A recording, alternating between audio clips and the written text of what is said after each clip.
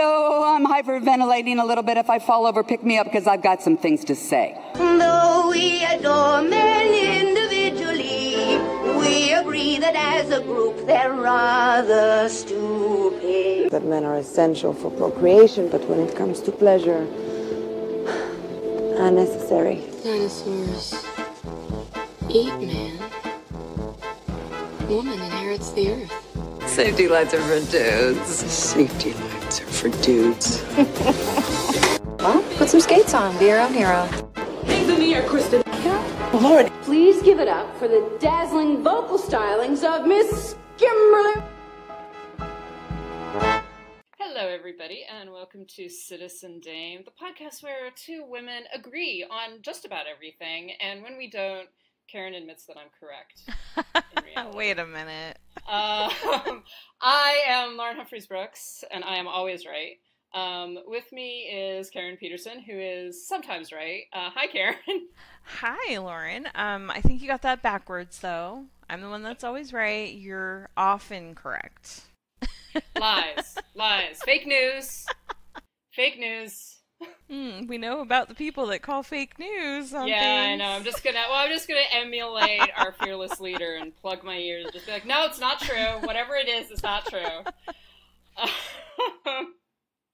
so we have lots of interesting stuff to talk about today. Uh, some of it, I think, I think it's almost going to be a retread of some stuff that we've already talked about, but it just keeps on coming up and coming back into the news, so we have to discuss it. Um, also, because I'm just constantly angry about it. Uh, but first. We want to again give a shout out to our patrons and to remind everybody that uh, we do have a Patreon and we would absolutely love for people to subscribe to it. You do get episodes early um, and then plus a lot of bonus content and buttons and fun stuff. So, you know, please consider subscribing to it. It does help us to like pay for hosting and our website and things like that. So I just wanted to give a shout out there, and also thank you again very much to our patrons who are who are subscribing to the Patreon.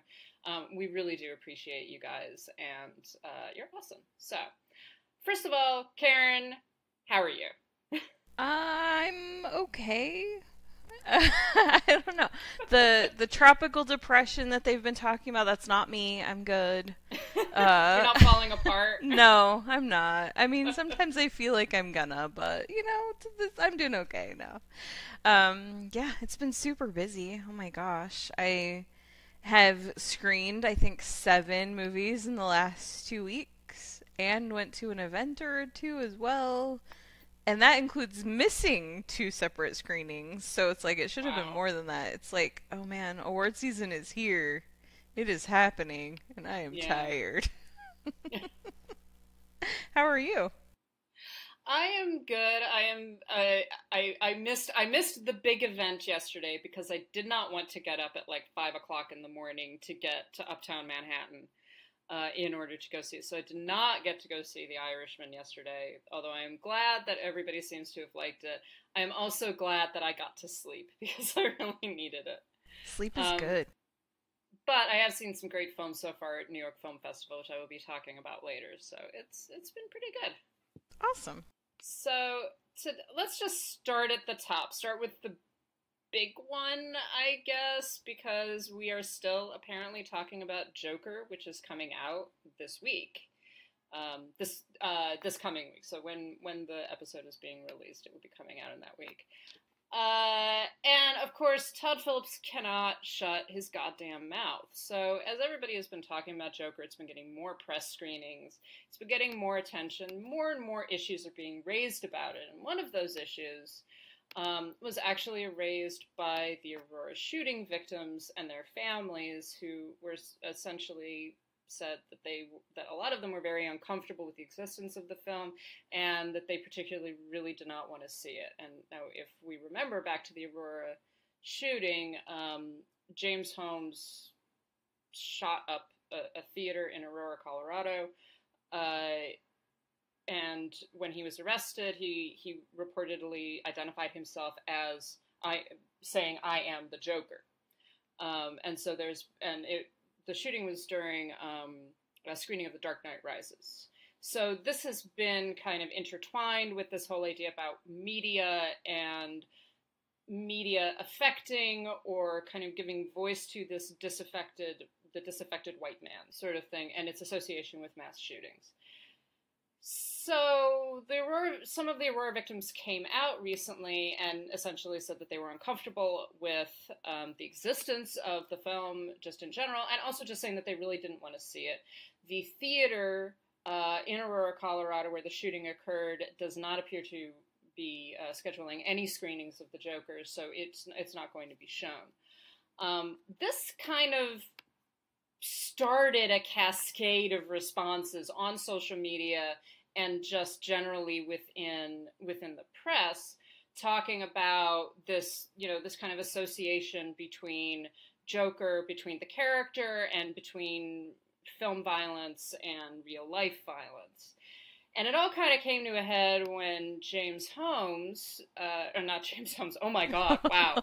that was a Freudian slip. I apologize. Holy crap. Uh, Todd Phillips. Oops. Todd Phillips, uh, Todd Phillips came out, who's the director of the film, came out and um, basically began questioning why people were so upset and wondered why John Wick, which is a film, you know, John Wick recently came out, uh, it has not had uh, the same scrutiny over violence that the Joker has. And he said some not very intelligent things. But one of his points that I think a lot of people have reiterated is is that this that this is a movie, this is a fictional film. It is not real life. Um, it and, and as he said, it can have real world implications and opinions, but it's a fictional character in a fictional world that's been around for 80 years. Um, the one that bugs me more about uh, toxic white male thing is when you go, oh, I just saw John Wick. He's a white male and he kills 300 people, and everybody's laughing and hooting and hollering. Why does this movie get held to different standards? It honestly doesn't make sense to me. So, I have opinions. Uh, Karen, I wanted to start with you to see what your opinions are. I have so uh, many. in I, I think yeah, I have a feeling that we both do. So like this this issue that he's raising that has been raised in different forms for years, really, about this relationship between real life violence and you know television violence, movie violence, and maybe like what kind of responsibility art and film, etc., has, and what responsibility it doesn't have. You know, is there a difference between you know different kinds of violence and different uh, violence in different films? Yeah. Um, where to even start? First of all, uh, John Wick and Keanu Reeves, not white. Um, yes.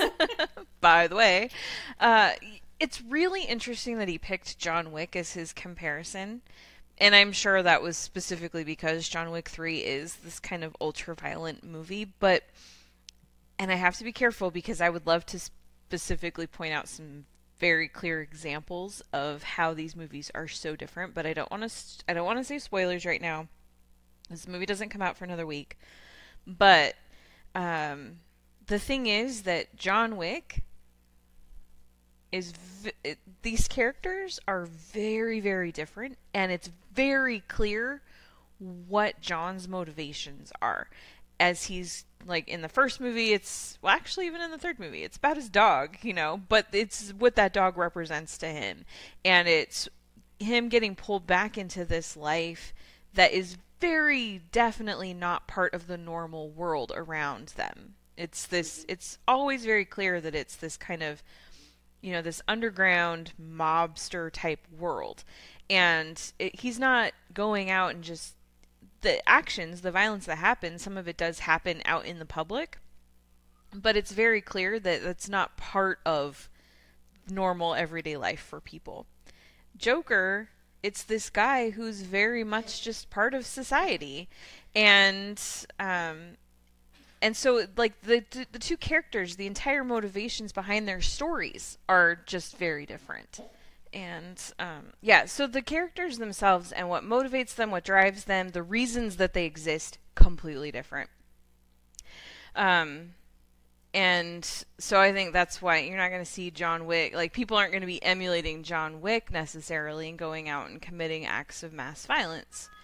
The thing about joker is that i don't think that this is a movie that's going to inspire someone to, hey, I've never had these thoughts before. I'm going to go pick up a gun and shoot a bunch of people. I don't think that that's what's going to happen. And I don't think most people, at least people that have seen the movie, are saying that that's what's going to happen. But the problem is that it's celebrating, well, celebrating is maybe not the right word. I do think it's inadvertently giving a point of view to the people that do those things. Mm-hmm. And um and and the thing is, I say inadvertently because it's become very clear from reading these interviews with Todd Phillips that he does not understand the movie that he made. it's weird. I've never seen someone with so little awareness of the message that they're putting out. And like I think he honestly thinks he just made an entertaining film. And I know that there are people that will watch it and will see it that way. But if you know anything about James Holmes or Jared Loughner or any of these other guys, it's really interesting. It's like it checks the boxes of everything that's that you know, a lot of the things that happened. So yeah, I've been reading these interviews and with Todd Phillips and also the one with Joaquin Phoenix where he actually got up and left in the middle of it because he didn't know how to answer the question apparently. And it's very strange. I've never seen a situation where I got such a strong sense that the filmmaker does not know what he made. Doesn't understand his movie, doesn't understand the script, doesn't understand the message of it, any of it. It's it's the weirdest, most bizarre situation. But then I started thinking about the movies that he has made and I'm like, okay, this is a guy who really does make movies just because he thinks they're entertaining. And and there's not a a level of depth and thought to most of what he does.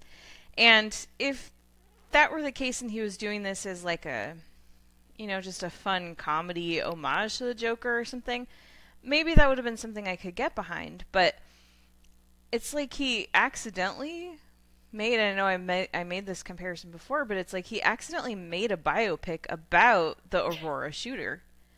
And it's it's really weird. And I got into a conversation on Twitter the other day with someone, actually one of our award circuit writers, who was trying to defend Phillips, defend the movie. By the way, has not seen the movie, um, but trying to defend it and saying, "Well, this is a mistake." And all I said was, "You know what? You got to remember that this theater and the people that work there and the people in that community were all victimized." Yeah not just the people that were inside that room when it happened but everybody there was was part of that. And i think we need to be respectful of it. And if the theater doesn't want to show the movie they don't have to show the dang movie you know? It's just a movie. We like to throw that around right? So uh yeah I, it's going to be very interesting. One of the things i'm really looking forward to in a weird way is this thing coming out so that we can finally start talking about some of the specifics about it I think that people have blown this up bigger than it needed to be, but I also think that having seen it, there are reasons to be concerned more about what this is saying than about anything that will likely or may happen after the fact.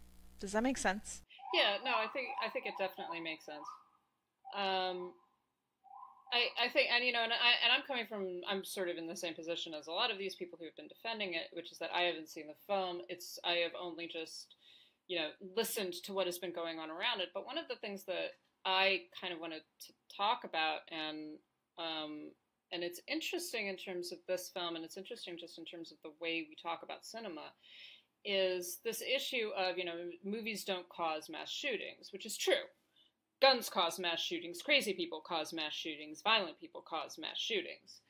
Um, but that there has been this attitude that has developed, and part of that is because of the the way that you know video games being blamed for Columbine um, you know, video games and violent music basically being blamed for Columbine and stuff like that. And it's kind of all spiraled out of that. This this whole idea that you know somehow media is responsible for the behavior of these violent people, which isn't true.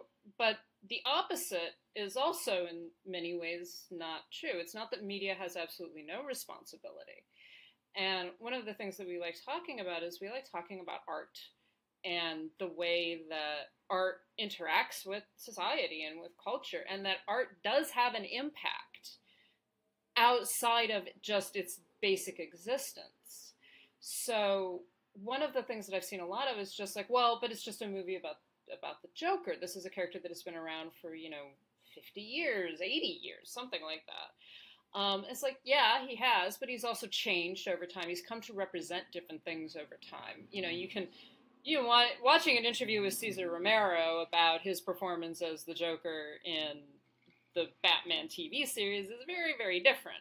I was so glad you shared that interview because that was delightful.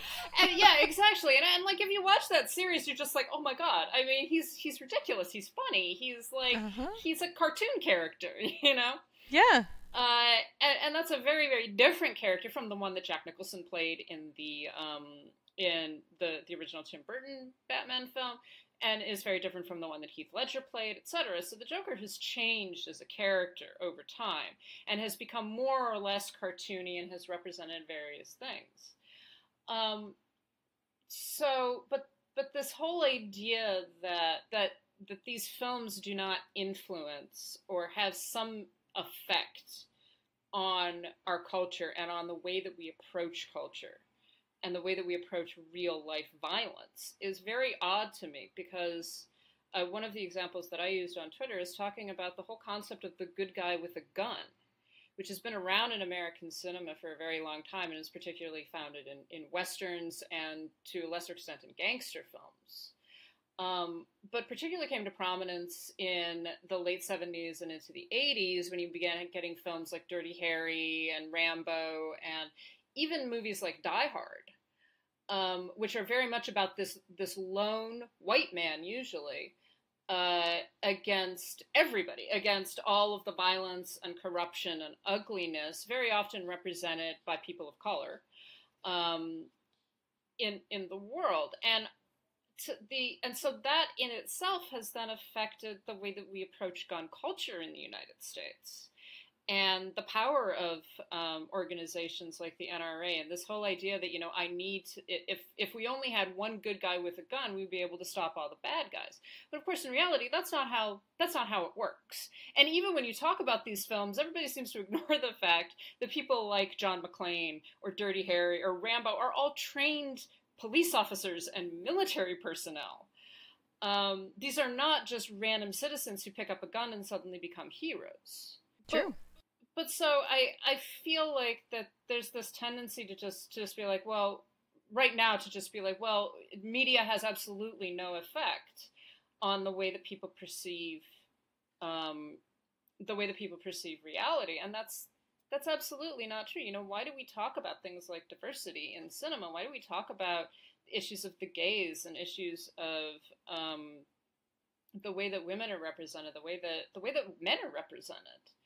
If that's not important. If it's just a movie, then none of the then you know why why are there critics? Why do we even talk about film if it's if it's just a movie? Then there's absolutely no purpose behind it, and it's not art. It isn't important. So you know we should just completely ignore it. But of course, it, it does have an effect on the way that we approach these things. And so the idea that you know no, the Joker as a character is not going to quote cause mass shootings but it could definitely project some kind of attitude towards violence and some kind of attitude of the, the disaffected white man who is cast out from society, who is ignored by society, and who's failed by it, and who responds to it with violence. And I mean, we've seen that so many times in real life. I don't know how you can make the argument that this piece of art does not somehow represent that or does not somehow have an effect on it. So, to your point, exactly, I think that one of my concerns in this is that there are a lot of a lot of people that are going to feel seen by Joker. And they're the kinds of people that you don't want to you don't want them feeling seen and understood because they're going to do bad shit. And I again, I'm not saying that this movie is going to cause people to go out and commit shootings everywhere, but it's definitely going to fuel the fire of people that are on the edge that feel like society owes them something or society is somehow wronging them and that's I mean, that's exactly what this movie's about. I'm sorry to say it, but it is. Yeah, it's it's this whole concept that, and I've heard this a couple of times now. In fact, someone just responded to me on Twitter saying like, "Well, we need to understand these people," and it's like, do we though? I mean, I think that we understand them. I think that we, you know, we understand white male disaffection. We understand privilege. We understand, you know, the the whole concept of of the incel and these things that men, that certain types of men are like, I am owed something by society. I'm, I, I am owed something by women. I am, because I am a straight white man, I am owed these things. And what we're getting is, uh, and, and we don't really need to understand those people anymore. We understand them. We know why they behave the way they do. Uh, they're not victims. They are not they are not people that you know deserve our sympathy. They are not poor doomed little boys. They are adult men who are killing people and hurting people in really horrific ways. And so i think that you know it's the, this whole idea that we have to have some kind of sympathy that we have to get why people be, why particular kinds of men behave like this just really rubs me the wrong way. It's, it's like we really, you know, we have all this demand for the abuser to be understood, but we really don't seem to give much of a shit about the victims. Exactly. That's exactly right. I just, it's going to be very interesting to see the way the conversation goes next week when this is out, because I think that, I think people have a lot of specific expectations for what's going to happen, and I think they're going to be very surprised. Um, some people will be like, "Oh, that's cool," but I think most people are going to be like, "Wait, what? what? Why? Why would they do that? Why?" and um, yeah. Uh, and I'm sorry, but no, it's not clear eh, that you're not supposed to be rooting for him. So sorry. Well, it really everything that I've heard, even from some of the people that have liked the film, everything that I've heard is like they ha- like the film is almost something beyond what anyone intended it to be. Um, yeah, Todd Phillips, etc., which is is is concerning because you want films to actually be expressions of even if they get misinterpreted you still want the film to be to be an expression of what the artist making it wanted it to be and if you've got a director if you've got a lead actor if you've got a scriptwriter who does not really know what they've done that's very frightening to me. Mm-hmm. But yeah, absolutely. Anyways, we will have to wait and see. We will all see Joker. I'm sure I am not going to see it opening weekend because I'm just not. I'm refused to participate in that. Uh, yeah, we, will yep. see. But let's Wise choice.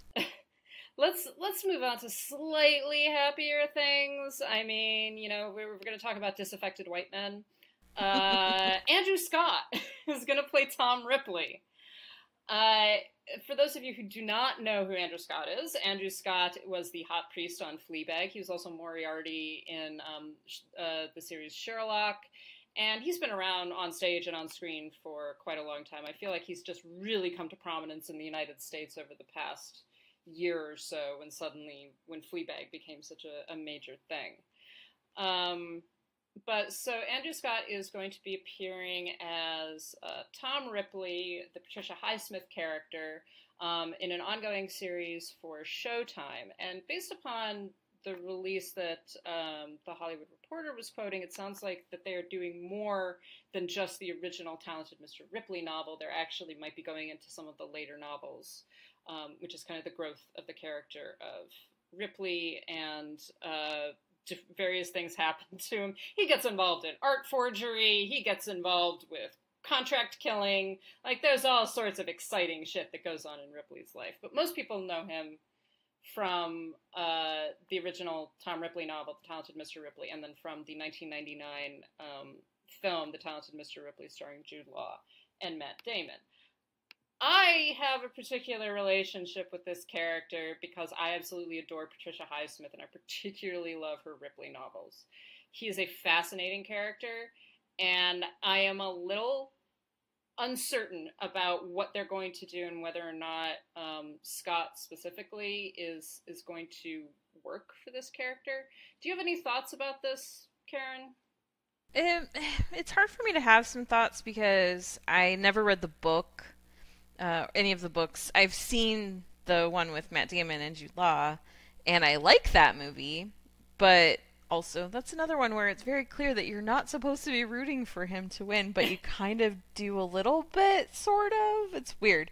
I have mixed feelings about it, but uh, but I like the movie.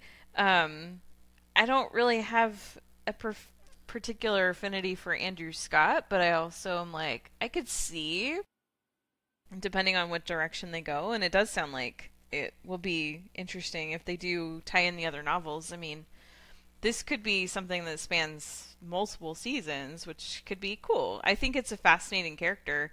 And actually, hearing you talk so much about the books has made me be like, I need to read these finally. So, the books really are i mean they're great and one of the interesting things about ripley that i, th- I think you get a little bit of in the 99 film but that you get much more of in like purple noon which is the one it's it's an adaptation of the talented mr ripley with Alain delon oh. uh, and and it's it's a that's a very different film but i think that delon really occupies the character of ripley because ripley sort of starts out as being this kind of sad bit of a loser um, who gradually discovers essentially that he's a very good con man. And he begins to enter, and it follows very similar to, to what the 99 film does of him entering um, Dickie's life and becoming more and more meshed in that world and being very attracted to this world of power and prestige and money uh, that these people represent.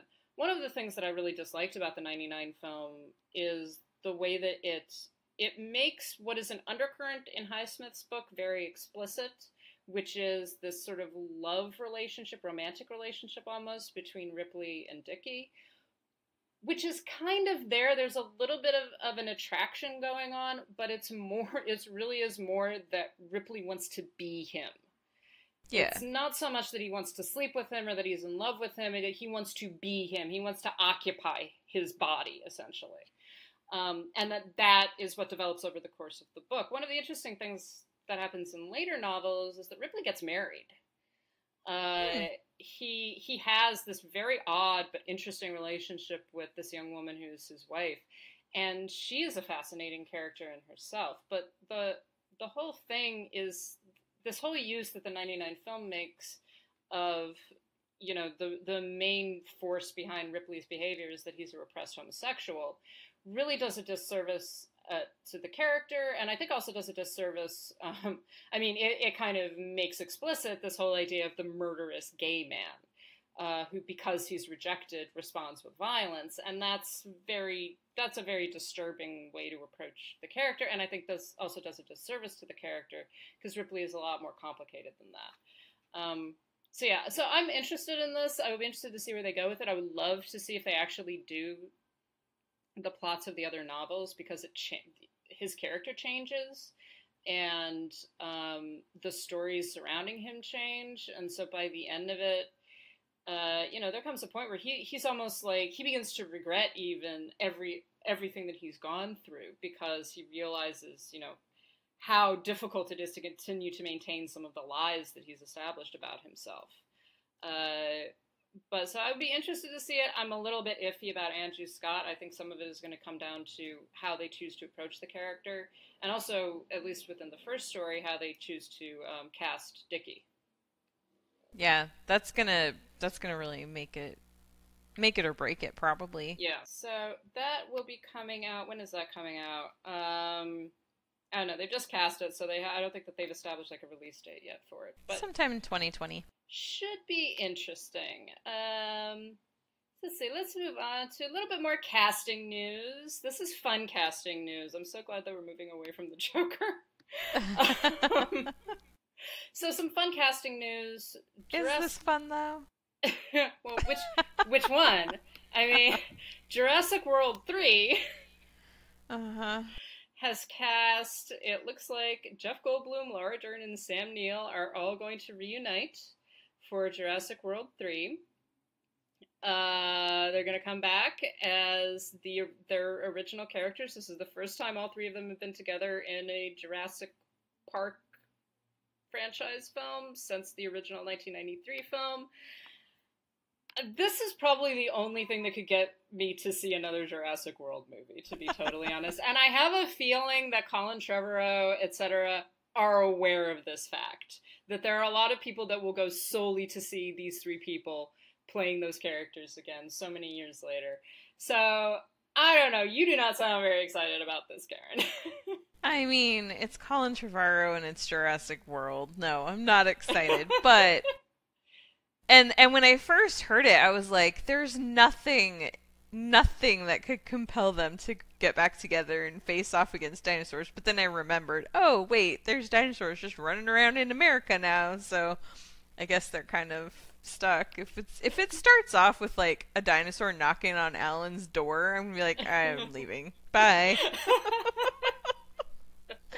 uh, unless it talks to him, like in like in Jurassic Park three. hey, Alan. Sorry, I love that. Um, well, it's stupid and I love it. But anyway, I, I yeah, I mean, this will this makes me marginally more excited to at least see how they're going to work them into the story. I guess. yeah, I to be totally honest, I did not see Jurassic World 2 whatever that was was Jurassic World 2 yeah must be Fallen Kingdom yeah. yes Fallen Kingdom um so I have no idea what's happening other than Goldblum the... was in it man I know he was in it but I also was informed that he was in it for like 5 minutes so I don't even know if it was that long, honestly. Yeah, so there's no reason for me. So, so if they bring back these characters for extended periods of time, I am totally down for it. If it's just going to be like one scene of like, "Hey, it's the original cast," like, no, I don't give a shit.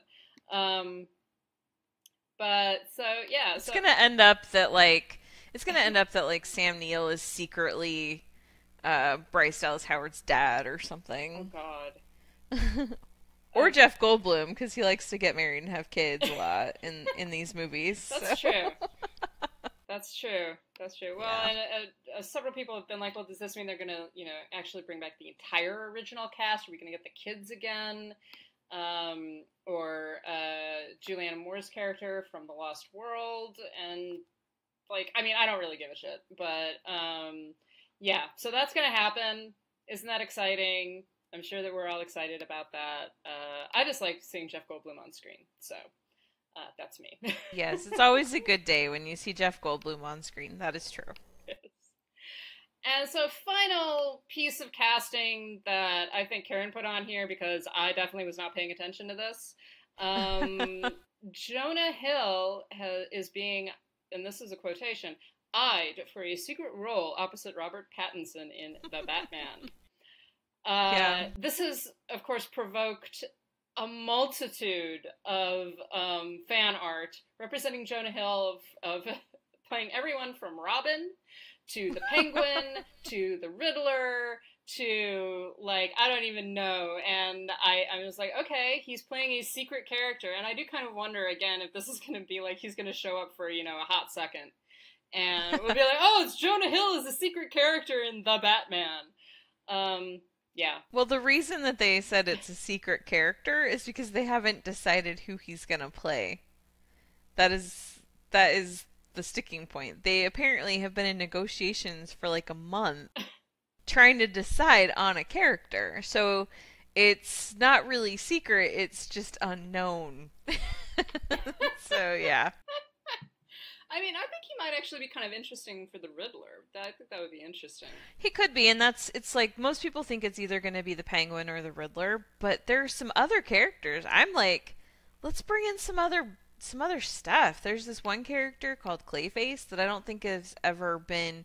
He might have appeared in the TV show with with uh, Adam West, but um, I don't remember, but I mean, he could be really fun, and I think that Jonah Hill actually would work really well for that. Or, and I, I don't. Someone else had mentioned that one too.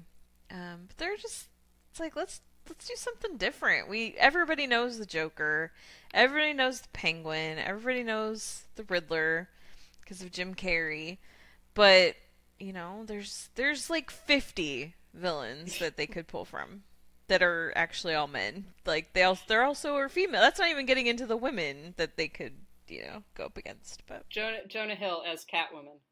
Oh my gosh, um... that would be. I would I would maybe pay for that. I would totally pay for that. Um, what was the other one that I thought? Oh, Egghead, I think, is the Vincent Egghead Price, would be good. The Vincent Mhm. Price character, Mr. Freeze. Mm-hmm. You know, I was the one who had said Robin, but Robin. for some yeah. reason people thought that I was being serious. I actually think that could be a lot of fun. It would depend on how they way. did it. Yeah. If if they're making this a fun Batman movie, they could definitely play with that and make it hilarious. But I don't. I think they're going the gritty, serious still. Yeah. And if that's the case, then it would definitely not work. Yeah.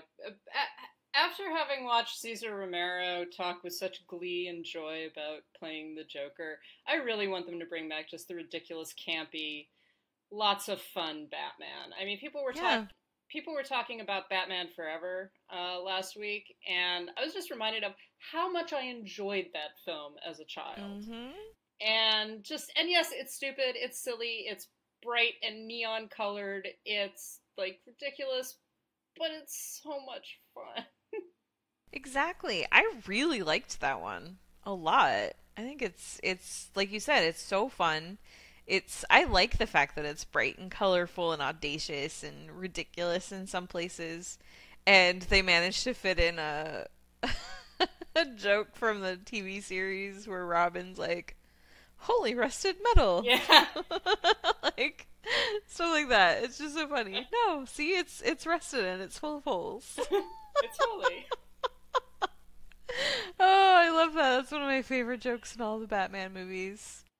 Well, it was the only Batman film I could watch as a kid because the the earlier Tim Burton ones frightened me too much. Like the Oh, yeah. um Batman. Oh, Returns- Batman 2 is, yeah, Batman Returns is scary. Batman Returns is, scary. and I really like both of those films. I like the first one, and I like the second one. But um, like at around the time, I forget how old I was, but around the time when Batman Forever came out, I was the right age for it, and it was just fun. Like you know the Tommy Lee Jones and uh, and Jim Carrey just chewing the scenery for most of the film, and it's Val Kilmer is at his peak hotness. I mean, I don't think there's anything to argue with about it. So, so yes, so the new Batman film is probably going to start filming late 2019, early 2020, assuming, of course, that we figure out who the hell Jonah Hill is going to play, because it sounds like they don't even know.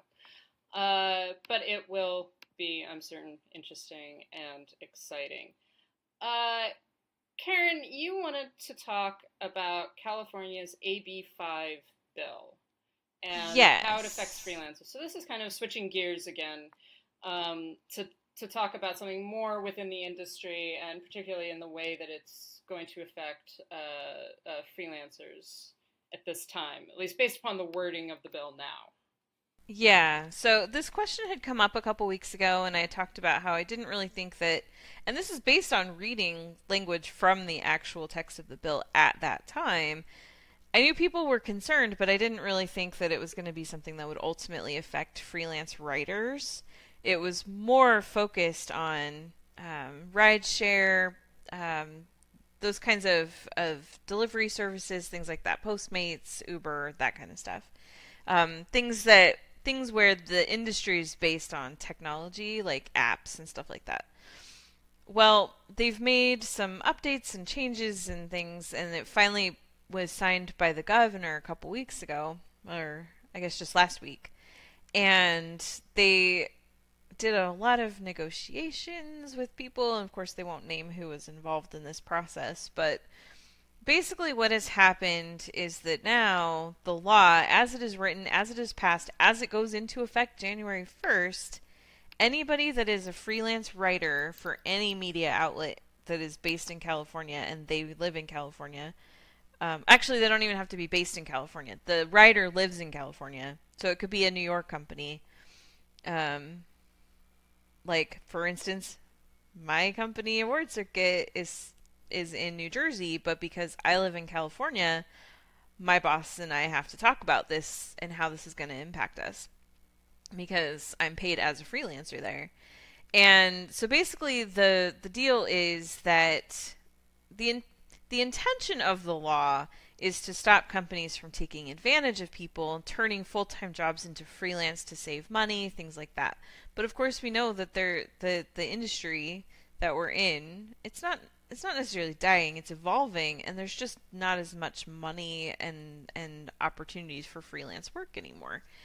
And so this is supposed to be this is an attempt to fix that and protect workers, but it's actually going about it the wrong way because a lot of people choose freelance work for a lot of different reasons.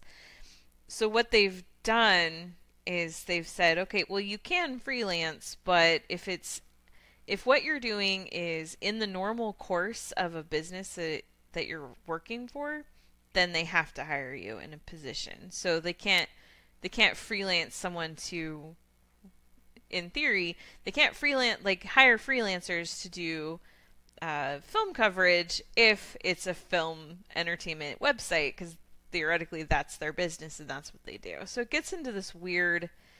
Well, but normally our business isn't inter- is in interviews, so we're gonna outsource that to freelancers, you know that kind of thing. So it gets into all these weird questions so, but then also what they've done is now they've set this very arbitrary limit that was negotiated between labor unions and this group of freelancers that they won't name.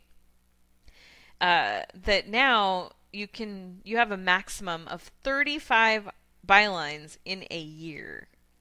That is what counts. If an outlet is going to have you write more than 35 in a year, then they have to hire you as an employee and pay you as an employee. But of course, that's not going to happen. They're just going to get a lot more freelancers to do a lot less work. That's yeah. just how that works. So this is going to be completely backwards. So a lot of people are panicking, understandably so. Part of the problem, though, is that this law is basically unenforceable. There are so many companies, and it would also, in order for the state to, to crack down on this, the employees that are affected and the freelancers that are affected would have to actually make complaints and file lawsuits and things. And people aren't going to want to do that to their jobs. So we do have some companies that are that are reacting. They're they're panicked that they're going to be you know having to to do this. And so they've gone ahead and and started reducing the workload on some of their freelance staff. And but they're also not hiring more writers now what they're doing is just making editors do the job that they've been having freelancers do. So it's people that already work there now they're just giving them more work. And so that's this is very much one of those cases of a law that's going to have so many unintended consequences. And what I think will happen is that it will technically go into effect in January. Nobody's going to follow it. I mean, there's been a similar law in the books in Massachusetts apparently for 10 years, and they haven't cracked down on a single person or a single company because they can't. It's just not, they just can't do it. And the lawsuits that result, they last for years. So I think what'll happen is it'll go into effect technically January 1st, and either eventually it'll get taken off the books or it'll just be one of those laws that just sits there and nobody ever does anything with it like the fact that you can't wear high heels on 25th Street in downtown Ogden, Utah. and it's still a law but nobody cares anymore. So, yeah, that's what I think. There you go. I was sort of halfway paying attention to because obviously I have a lot of friends who live in California and and who freelance and of course you know I, I know you've talked about it kristen has talked about it a, a, number of different people have discussed you know the possible impacts. Of course you can never know what are what is actually going to come to fruition and what isn't. Um, right.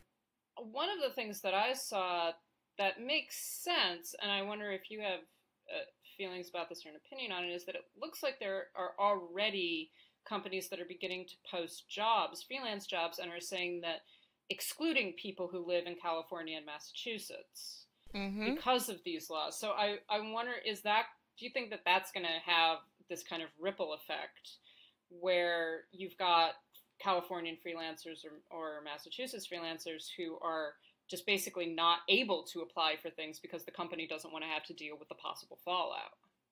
Yeah, and that's where I say like this is full of a lot of unintended consequences. I think that's one of them is that companies are just going to say, well, fine, I'm just not going to hire people that are in California because then I don't have to worry about it. Yeah.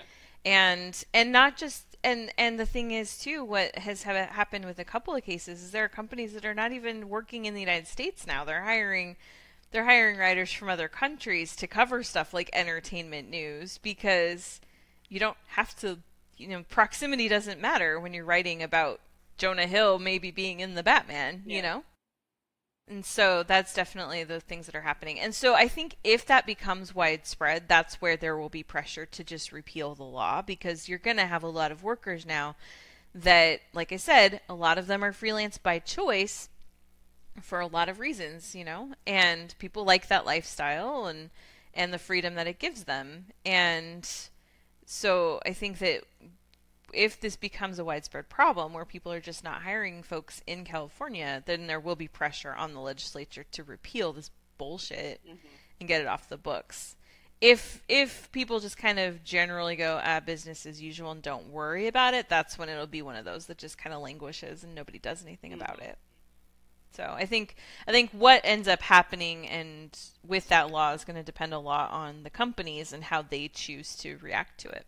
Well, it's interesting. I mean, I think that we're obviously going to have to keep on following it and everything. Like you said, you're going to have to deal with it at some level, uh, mm-hmm. one way or another. But it's it's interesting. I mean, it's such a gig economy. And I mean, I'm a freelancer. I'm an editorial freelancer.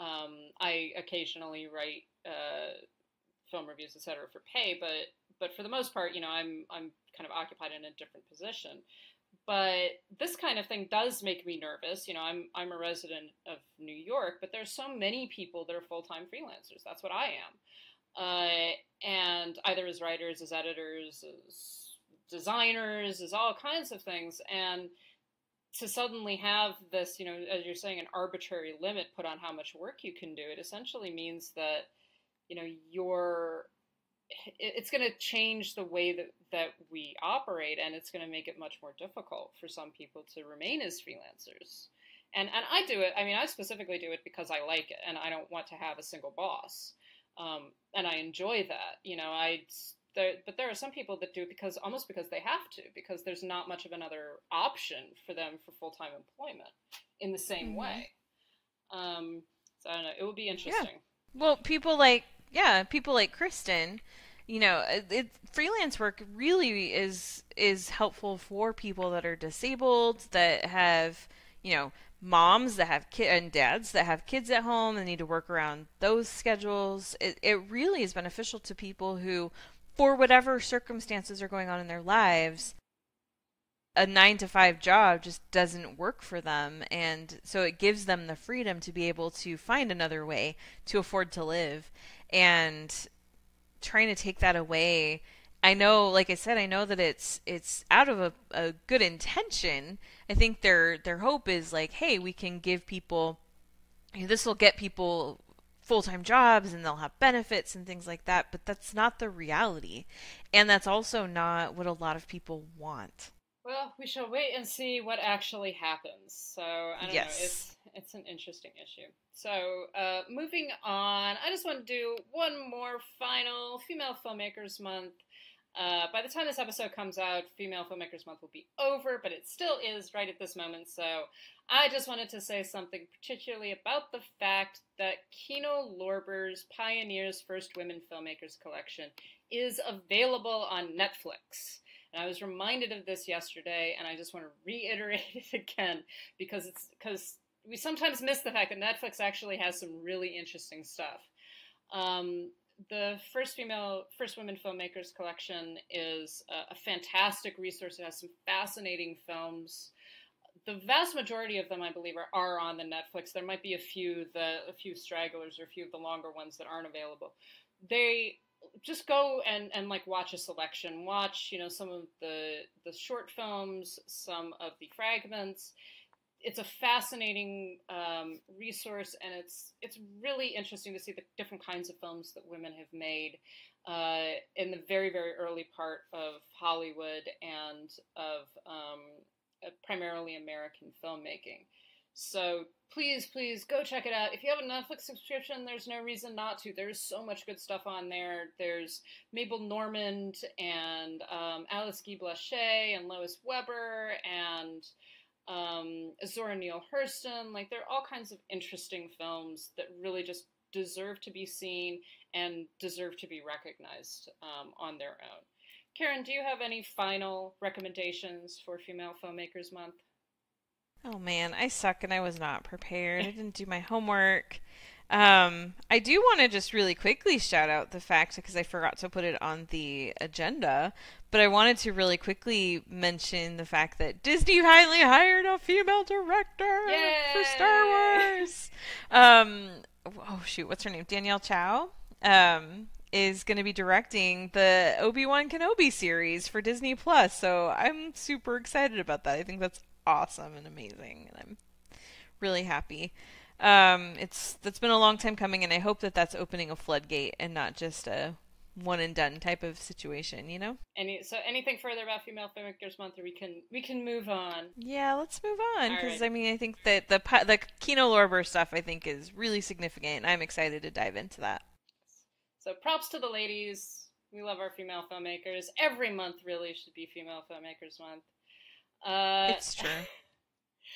And okay, so moving on, moving on. Speaking of female filmmakers, um, I think that we're going to move on with reviews, and I really wanted to talk about one of the films that I got to see at New York Film Festival this past week at a press screening, "Portrait of a Lady on Fire," which is directed by um, Celine Sciamma. I probably pronounced her name wrong uh, and is about a um, young painter named Marion in at the end of the 18th century who is commissioned to paint a portrait of a young woman uh, that is going to be sent to this young woman's um, prospective fiance in order to kind of entice him to to want to meet her and to want to marry her. So, over the course of her painting this portrait, uh, the two of them begin to fall in love. And it is about their relationship, about particularly their relationship that kind of builds itself via art and via the way that the look, the way that these women have to look at each other for long periods of time. It is one of the most just just artistically gorgeous films I have seen this year.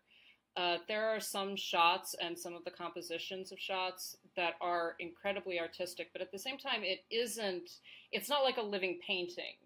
Um, it, it's much more physical and, and sensual than that. Uh, and the way that it, the way that the camera uses that to kind of build their relationship, but to build just the way that they look at each other, because there's there's a lot, there's a good bit of dialogue, but there isn't. It's one of those films where everything is said when nothing is said, and as their relationship begins to develop and their feelings for each other begin to develop, the way that the camera looks at the two of them, the way that they sh- that it shows them looking at each other, is just incredibly intense without um, without being objectifying, without you know being particularly male. Uh, I've I've heard a number of male critics, and I complained about this, but even just as I came out of the film, because I was already seeing it, I've heard a number of male critics talk about the camera gaze as being observational. No, it is not observational. this it the, my my first response was no, they're lesbians. Um, this is this is an incredibly lesbian movie. Uh, it's not even a queer movie; it's a lesbian movie, and it's the way that these two women just fall for each other in such a deep and abiding way, and the way that the camera chooses to look at the two of them, and the way that they look at each other, uh, is just like it's it's difficult to put into words because it really is so incredibly visual. Um, it is it's a fantastic film. Like I cannot recommend it enough. I do not want to like start sliding into hyperbole and being like it's the you know it's the greatest masterpiece in the history of Western cinema or anything like that. But it, it is really a marvelous film. I highly recommend that if uh, to be able to see it on a big screen to actually be able to experience sort of the scope. Um, the, both the scope and the intimacy of the way the film uh, depicts it, its central relationship. I also just want to say that there is not a single male character of note in this entire movie, and in fact, there are only two men. Uh, one of whom has two lines. The other one has, I think, three lines, and that's it. And they are not named. They are not important. They are almost there just because they had to be there in order to drive the plot forward. And that was really, really nice. It was nice to see a movie that is so focused on femininity and on female relationships. Uh, so I I highly recommend it, uh, and it's it's just a beautiful film. So I want to move on. I'm really looking forward to that one. I haven't seen it yet, and oh, I can't wait. it's so good. So I'm going to come back to New York Film Festival in a minute, but Karen, you wanted to talk about Judy. I did. It's out in theaters this weekend, and it's the story about Judy Garland, and it's it's really focused on the last, well, the first half of the last year of her life, and but it does flash back to when she was younger, and um, I think it was even before they started filming The Wizard of Oz. It was like the casting process and stuff, and going back and forth, and um, the movie. I mean, people are really singing Renee Zellweger's praises for this, and she does do a good job. She's really good with the musical numbers. Uh, she did, she did her own singing, and um, which was a challenge for her because she sounds much different from Judy Garland, yeah. but she manages to really uh, what she did with her voice and the way that she trained to sing. She doesn't sound identical to Judy or anything like that, but it's definitely it's done in such a way that you really feel that sense of homage to her. And so she did a really great job with that. I think the movie itself has I I I found myself wishing that it was actually like a week of this time instead of spreading it out over 6 months. Like if it had been her last week in in London during these shows that she did, I think it could have been really good because it would have really tightened the timeline watching this because it's just going through and checking the boxes of and then this happened and then this happened and then that. And as i was watching it i just kept thinking this feels like I went through a whole process in my mind. I was like, this is like the Cliffs Notes version. And then I went, no, they don't use those anymore. This is like Sparks Notes. Nope, nope, wait, they don't use that anymore. That's a dated reference too. This is the Wikipedia entry on the last year of Judy Garland's life. And that's really that's really how it feels. It just is like it just brushes over a lot of these big events that happen, like her final marriage, uh, the custody battle with her ex-husband, um, things like that. And so it just it never really got into any of of that with any real depth, which was unfortunate. There's one scene that happens that was lovely, and there I don't I don't have any re- any way of knowing if this is something that was based on reality. I should look into it, but so I don't know if it was true, but it involves two people that keep coming to her show week after week. And uh, she just has this really lovely moment with them. And it's beautiful. And so much of what's really good in her performance happens in these quiet moments. A lot of a lot of her best work is actually nonverbal. There's a scene where she's inside a closet or where she's, you know, sick in the bathroom or whatever. And those are the moments where you really get the weight of this difficult life that she's had and the terrible things that she's been through. Uh, some of them by her own bad choices, and some of them just because people have been bad to her. And so I think that's where it really shines. But overall, as a movie, I didn't think it was. It, it was a little bit disappointing that it wasn't better because I think if they had really just tightened it up and just focused on just this one this one week where a lot happened, and instead of just kind of cramming in stuff before that, you know, if they just just taken the time to just really let that that moment just play out, I think it could have been a really great film. That being said, it's not bad, and I think a lot of people are going to like it. The music is, like I said, really good, and there are some beautiful moments. And um, you know, if Renee Zellweger gets an Oscar nomination for this, I'll be very happy for her because she's great. She she's an interesting actress. She tends to get underrated a lot, I think, and it would be yeah. Yeah, it would be nice to see her actually get some recognition for it. At the same time, honestly, this this movie has never particularly interested me, but glad to hear that it is not bad. Yeah, not bad. That's I think that's the best way to say it. It's not bad. it isn't bad. Okay. Uh, so I wanted to talk about another film that I saw at New York Film Festival this week um, that I believe is actually premiering this weekend uh, in, in, the United States. It has been it uh, competed for the Palme d'Or at Cannes, um, and it was also I believe awarded for Best Actor and Best Soundtrack, uh, and is also the Spanish entry for Best International Feature Film at the Academy Awards this year. The film is Pain and Glory, Almodovar's latest work, and it is a fascinating film because it's probably his most autobiographical.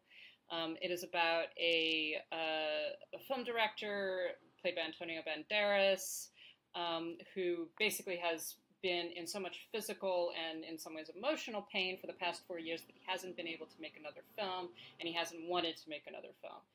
And over the course of the film, he um, meets a number of different people from his past. He also has flashbacks to his time as a child living with his mother and father in a uh, in a cave, quite literally in a cave.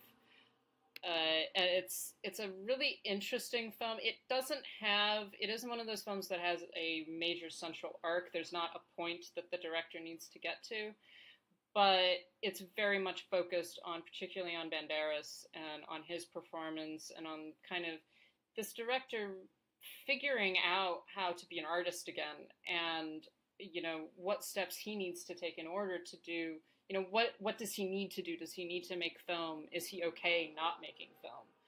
Uh, and it's about his relationships with all these different people in his life. It's a very very interesting film. It's very different from a lot of almodovar's films. It's not what we expect from him. Uh, it's much more subdued. It's much quieter in a lot of ways. It's much more introspective uh, there are some melodramatic moments, but that's not really what the film is about. And in fact, a lot of the emotion is incredibly real, and uh, and and also very subtle. It isn't it isn't about these big explosions or these big events, but about these smaller things that kind of go into the life of an artist and an artist who desperately wants to make art, but also is terrified to try to make art again because he's in so much pain. Um, it's uh, Banderas is is fantastic. I mean, I don't think that anyone would ever fault him, uh, but this is probably one of his best performances in years, and he gets into kind of the reality of this director, and it's interesting to see him playing what is essentially a slightly different but also the same version of Almodovar who's directing him at the same time. So the relationship between Banderas as the actor and the character and the director who's filming him all coalesce and it works really well and i think that there's a there's an absence of ego in both his performance and in the direction that i think allows for this character to develop organically on screen. It doesn't feel like this is just a self-insert character for almodovar that he's speaking through banderas. Banderas is speaking for himself and speaking for his character uh, it's a fascinating film. I, I, you know, I want to caution people not to go in thinking that this is going to be the skin I live in or um, some of Almodovar's earlier films, but it it is uh, one of his best uh, in years, and it is a really interesting film, particularly for those who love him and love his work, and I I do, to to see kind of how he approaches filmmaking and the kinds of stories that he wants to tell and the kind of pain that goes into producing art. Um, so it's I really recommend it. I recommend seeing it, uh, and at, at, the very least because it's Antonio Banderas being directed by Almodovar, and that's always a good time. Awesome. Yeah, that's another one that I'm really interested in, and I don't know. Uh, again, actors that are doing really good work. I think Antonio Banderas is probably going to finally get his first Oscar nomination and he could win. Yeah. Yeah, no. Be exciting. I think I, I hope so. I hope so. It's it would be one of the wonder. I, I got to go see um, the press conference following the screening of the film, and one of the things that he said, because they were talking about the fact that he's playing, you know, a version of of someone who has been his friend for thirty years, uh, and and they and one of the things that he said was um, that if he's made eight films with Almodovar, and he said that if he had only made those eight films, that would be a career. And that was hmm. just one of the most wonderful things that I had heard an actor say about a director that he is so proud of the work that he did with Almodovar that if he had made nothing else, he would feel that he had fulfilled a career. Um, and that was just that was just wonderful. Like he's very, he is a very charming man, I by the that. way. I bet he is. Banderas is a very like charming it. man. Like Yeah. he really is. Um, so so Karen, I I, I we're going to talk about this film a little bit closer to the time that it comes out, but I'm certain that some of our listeners are very excited to hear from you a little bit, just a little bit about Jojo Rabbit. Oh my gosh. I saw Jojo Rabbit this week and it's been my most anticipated movie not called Star Wars since I first heard it existed. And it was everything I wanted it to be. I was so happy. I was giggling through the entire opening and I was sobbing at the end. I mean, this movie runs the gamut of emotions and it's so well done. It's not just a straight up comedy. It really has a lot of depth to it and I've been talking to a couple of people in the days since uh, since I saw it. They've also watched it and I'm a little bit concerned because there's some I think some people are missing the point a little bit I know. and that's unfortunate because I think that there's a lot of of real real depth and a real understanding of not just the time period, Nazi Germany in 1943 or whatever, 45, but um, uh, but also a real understanding of the parallels between that time and the time that we're in now, and because it's easy to go Ugh, another World War II Nazi movie, but there's a very specific reason that Taika Waititi chose this project for right now. And I think that he did such a beautiful job with it and I love it. I'm excited about it.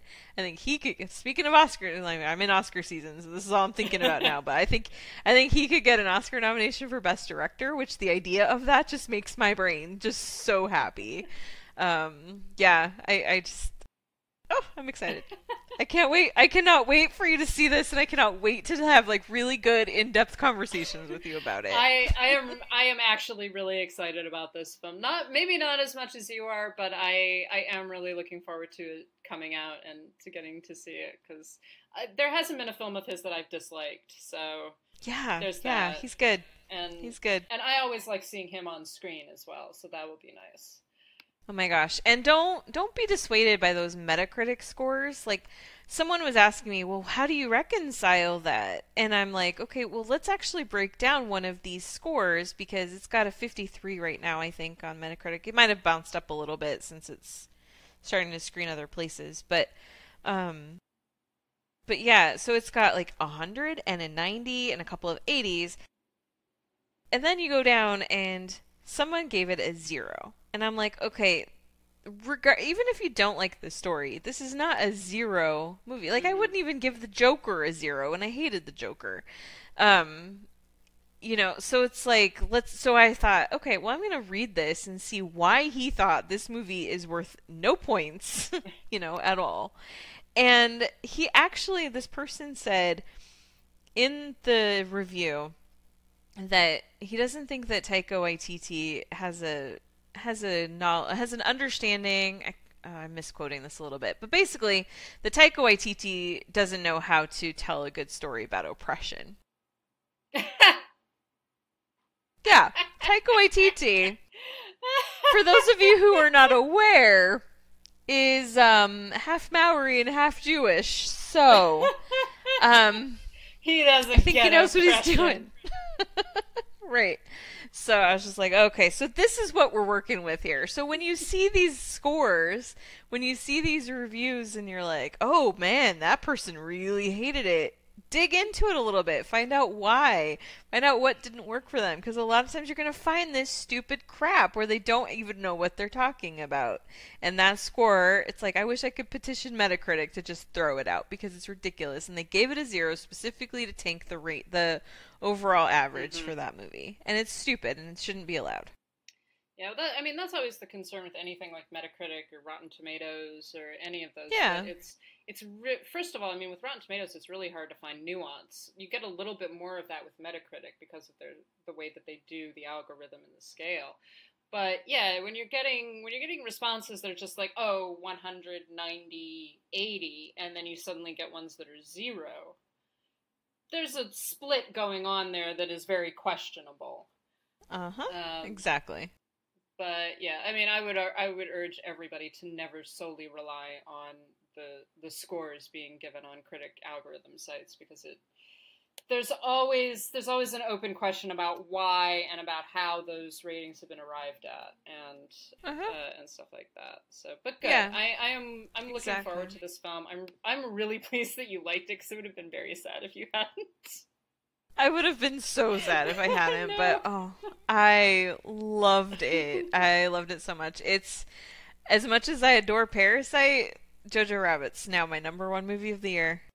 Amazing. Oh, and I am Yeah. getting to see Parasite next week, so I'm looking forward to that. Yay! Yeah. Oh, we should have a really good conversation about that one. I'm excited. I'm looking forward to that. Yeah, that's the press screening is early-ish in the morning, but I'm willing I'm willing to go for this one because it is not a three and a half hour film. Uh, yeah. So, uh, so what do you have on tap for next week, Karen?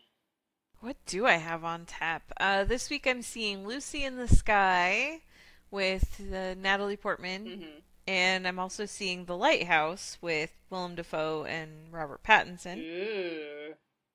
Yeah, I'm very curious about that one. And then I'm doing some prep because the week after I'm going to the Hamptons Film Festival, and that is official. I have a plane ticket, so this is happening. I'm I'm so excited. Yeah, coming to the So, coming yeah. to the East Coast, the better coast in many ways. Uh, we'll see about that. our our This will be the longest I've ever spent in New York, actually. wow. I mean, the Hamptons isn't I know. quite New York, but yeah. Well, it's it's the state of New York. Sure. Is it the state of New York? I didn't realize. I I always, for whatever reason, I always associate the Hamptons with Massachusetts, but I guess it is technically New York State. Um, Isn't it Long Island? I'm so confused. Probably. Something Okay. like that. I don't know. You know, uh, when you get down to this end of the state, it gets really confusing as to where things actually are because technically, both like Brooklyn and Queens are both on the same part of of the island, and we're also on Long Island. But you really don't associate Brooklyn and Queens as being in the same like space time continuum, basically. okay. Uh, so Hmm. yeah, geography works differently here. and that's the basic conclusion. so yeah, so next so next week I get to see Parasite. Uh, I'm not certain what else I'm gonna get to see. Maybe Motherless Brooklyn, which I Oh, I saw that. I am iffy about. Uh, that's another early morning screening. And that's a long movie. Yeah, it is a long movie, so we'll see about that. But I'm definitely looking forward to Parasite. That's been one of that's been at the top of my list for quite a long time. So I'm I'm looking forward to getting to go see that. So I think that that will close us out for today. Thank you so much for joining us, everybody. As per usual, you can get in touch with us so many different ways. We are always on Twitter at Citizen Dame Pod. We are on Instagram at Citizen Dame Pod. We are on Facebook. That's facebook.com slash citizen dame. You can get in touch with us via email. That's at citizendamepod at gmail.com. Our website is, of course, citizendamepod.com. Uh, we've got some reviews up. We're going to have a whole bunch of New York Film Festival reviews coming up in the next couple of weeks as more of the films premiere and I get things done. So do go and check that out. Uh, we've also got a Patreon, of course. That's patreon.com slash citizen dame. We have a Zazzle store, and I'm hoping to put up some more new stuff before long. That's at zazzle.com slash citizen dame. And if you want to give us just a little bit of your money, but you don't want to make a commitment to Patreon, um, we do have a Ko-Fi account. That's ko-fi.com slash citizen dame. And Karen, where can people get in touch with you? You can find me on Twitter and Instagram at Karen M. Peterson. And I am at LH Business. So that is going to close us out. Thank you so much for listening, everybody. We will talk to you later. Bye. Everybody has their troubles. And I've had mine. I just want what everybody wants. I seem to have a harder time getting it.